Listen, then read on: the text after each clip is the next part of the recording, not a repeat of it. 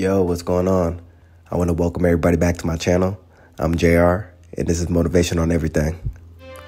Today, I want to talk about overcoming anxiety and depression.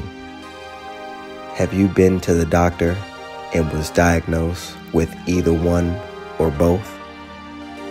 How did they deliver the information to you?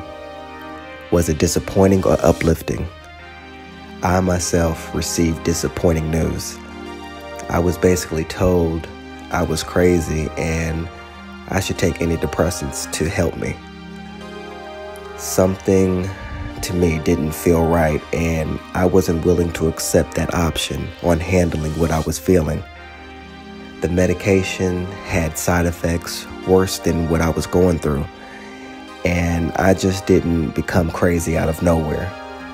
I refused and didn't agree with anything the doctor was telling me. Why do we trust in doctors so much as if they are never wrong?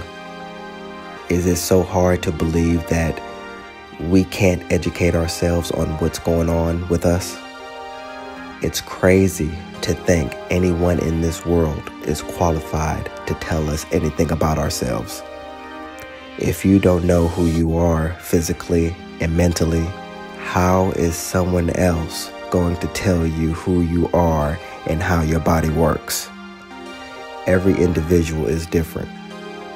Did you know when you go to the doctor with certain problems, nine times out of ten, it's just an educated guess of what they think the issue is. Then they tell you to try this and that and see if it works. Sounds like something you can do yourself, right? Are you dissatisfied and not happy with the results you received? The information and treatments they offer is not the only source to look for help. I told myself, I will research until I find out what works for me. I read other people's stories and how they overcame it. I found out the true meaning of the word anxiety. I call it overdrive. It's when you overwork your body and have a lot of stress built up. Then over time, that will lead into depression. Once I found out what was going on with me, I looked for natural ways to help me feel better. I tried so many things meditation, breathing exercises, eating right, having a healthy digestive system, exercise, resting, therapeutic activities like sports. The list goes on. All of these things were very helpful.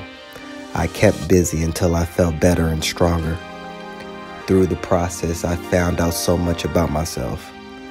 I was able to narrow it down to a few things that are important to do. I would say they are the building blocks to a fast recovery and will help me bounce back if those feelings ever come again. Eat healthy. Your digestive system has a lot to do with stress. Get enough rest. Add naps to your day.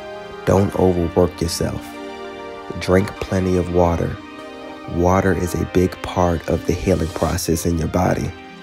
Having a hobby or passion for something will take your mind off of feelings you don't want. Strengthen the mind because that's all we have to fight off the negative thoughts when you receive disappointing news from the doctor. I'm not saying going to the hospital and seeing the doctor is a bad thing. I'm saying you can learn a lot about who you are and take less trips to the doctor. This is my story. I figured out what worked for me on my own. If you're struggling now, realize you have not tried everything. Learning about yourself every day will keep the doctor away. Well, that's it for now.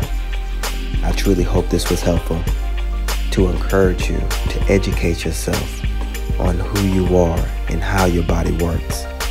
Have a strong mind so you can fight off the negative thoughts sometimes we will receive bad news. It's our job to not let it break us. Search for things that could help you. And don't stop until you feel better. Now let's end it off with saying, Don't ever give up. Stay strong. Let's see what works. Until next time, stay motivated.